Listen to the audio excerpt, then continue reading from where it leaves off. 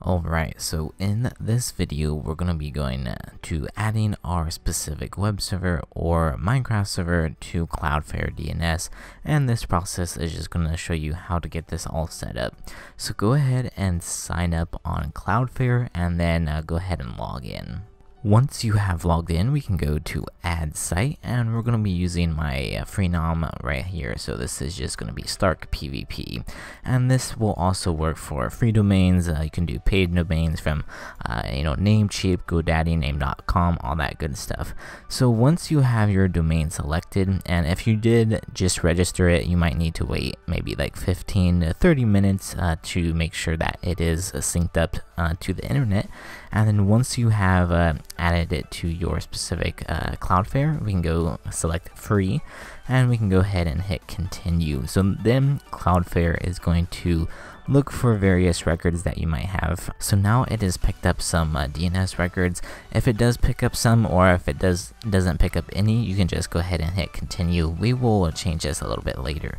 But the next thing that we need to do is we need to remove our name servers and then add Cloudflare.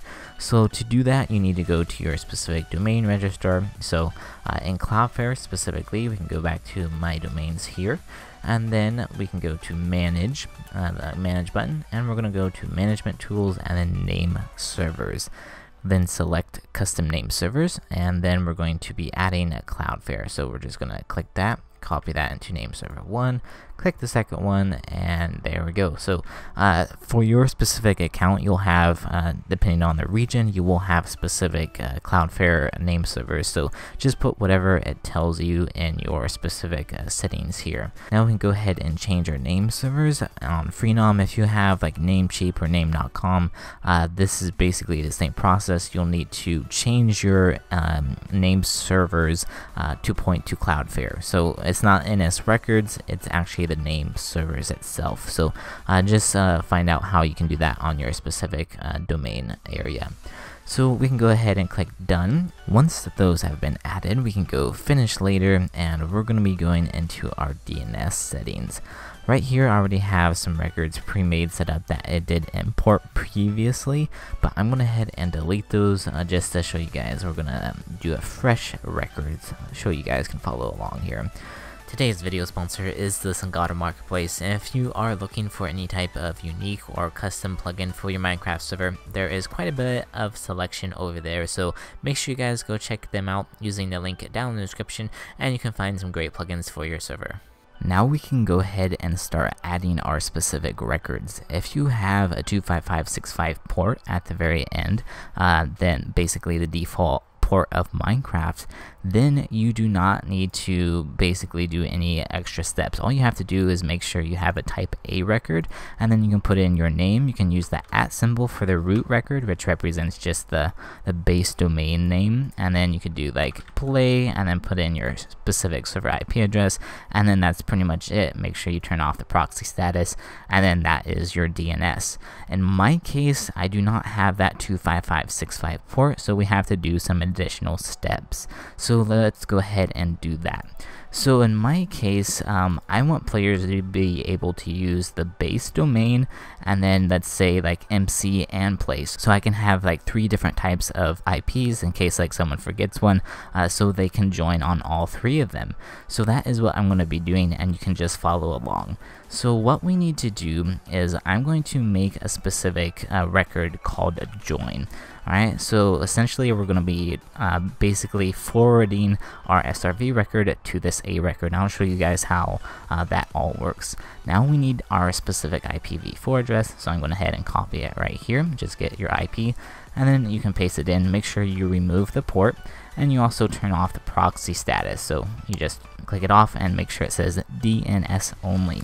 I'm going to set the TTL to 2 minutes, alright? So there we go. So that is our A record called join. So we will not be using this directly for people to connect. We're going to be doing the SRV type record, alright? So we can scroll down to the very bottom or you can just type it in here. So it's going to be SRV. Now we need to input the name. So this is what players are going to connect with. So we can actually use that at symbol in this case. So this would be our base domain name. Now the service has to be underscore Minecraft keep the protocol as TCP. We're going to keep the TTL to 2 minutes. I'm going to set this uh, to 0, and the weight is going to be 0, and then the port. So this is the port of our specific Minecraft server, so 2301. So I'm going to put that in here, 2301 and then the target. So this is very important. This target represents your A record that it's basically saying, hey, join this specific A record uh, using our specific um, base domain name, alright? So it's basically almost forwarding it to that specific A record in a sense. So to do that, it's going to be join.starkpvp.tk. So say you made an A record called connect or something. So you could do connect your domain name right here. So make sure whatever uh, the target represents whatever a record that you basically want it to point to. Alright, so now we can save that. So let's go ahead and save that. So now we can go ahead and check it in our Minecraft uh, right here. So we uh, made our specific base domain name right here. So this is our root record or our basic uh, domain name here and we're going to add it to my server and we're to paste it in and see what happens. There we go. It is already registered. Cloudflare is very fast at doing this, which is perfect. So there we go. We can actually join our server. So if we go ahead and join it, it's to say, hey, you know, welcome to the game. Check our console, and there we go. And yes, I am on a VPN, so it's all good. But anyways, as you can see, it is working properly. Now if we go back over here, we can make a new SRV record called like play or MC, and then it's to be pointing to the same thing. So let me go ahead and do that. So make sure you do type SRV, and we can use the name play so people will connect with play.starkpvp.tk or whatever uh, you put in there. Make sure the service underscore Minecraft protocol is going to be TCP. I'm going to set the TTL to 0. The priority is going to be 0. I'm going to set the weight to 5 this time and then 2301. So I usually like to set these a little bit different from your base one because if you have multiple, sometimes they can conflict with one another. So that's why I usually set it up by like 5 five ticks or so. But anyways, let's go ahead and make our target. So the target is going to be the same A record that we made down here. So I can just copy paste it from this old one. So I'm going to put in the target there and save that. And we can save this as well. So now we can pop open Minecraft. Let me go ahead and disconnect. And let's see, we can add our server. So we just made a new one. So play.starkpvp.tk. And let's go ahead and click done. And there we go. As you see, it did pop up perfectly. Let's go ahead and join. And as simple as that, you can make as many as you want, which is perfect. So as you see, we have our base domain here, as well as our play right there, and it's both registering perfectly. So that is how you set that up. So that pretty much concludes everything with your Minecraft server DNS. So this final portion I'm going to be going over is if you have a forums or a website and you want to use both your uh, root record for your website as well as connecting to your Minecraft server. So this section is going to cover that portion portion. So I'm going to be using our uh, SoulNode web host and I already have this domain synced up to the web host but currently there's no records for it. So as you see it just says you know you can't connect. Alright so that is the starkpvp.tk on the web. So what I'm going to be doing is we're going to head and add a new AA record and this is going to be the at symbol for the root and the IP address is going to be whatever wherever you're hosting your website or web host um, that is going to be the IP of the web server. In my case, I'm using SoulNode web server, so this is the IP address of it, and we can actually leave this to proxied because it is a website.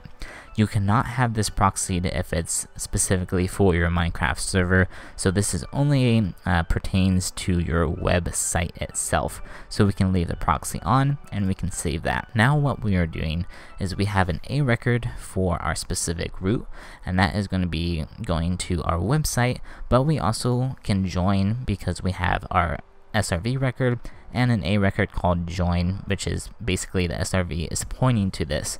So there's no conflicts with the base domain name uh, because we have a separate A record. So that is how that works. So now um, should, I don't know if it's loaded quite yet, but let's go ahead and see. Yeah, so it hasn't loaded quite yet, but once it loads, we can actually go to our website using our specific root record. So I'm going to head and check if this has been loaded. So let's go ahead and go to Stark PvP. And there we go. That is my template for uh, SoulNode web server. So that is actually working. So let me go ahead and make sure it's still working for our specific Minecraft and there is our base domain name. So that is how you set up your website as well as your Minecraft using your root record so there's no conflicts.